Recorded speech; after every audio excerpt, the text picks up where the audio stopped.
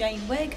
I'm from uh, Wolverhampton Lymphedema Service and I've been using laser therapy for post-mastectomy breast cancer patients for approximately three years. How we'd normally use our treatment is we'd start off into the axilla. We would just demonstrate this here on Lynn. Of course we'd have a skin on skin technique and not through clothing. We would place the laser into the axilla, um, 60 second treatment, moving the laser spot for approximately six to seven minutes in the axilla. We would then move across the breast line, a minute per spot, until we got to the most fibrotic thickened area. We would continue with one minute per spot on each area at uh, two centimetres apart until we'd covered the whole of the fibrotic area. This is normally a total treatment of 20 minutes. And how often would you treat?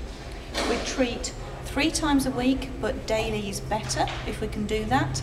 And um, we would then do that for two weeks, and then we'd do reducing sessions twice a week for two weeks, and then once a week for a month.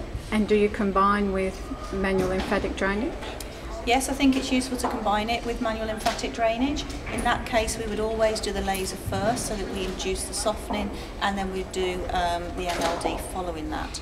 We may combine it with other treatment as well. Pectoral exercises are useful and also kinesio tape and uh, also having the correct compression garment.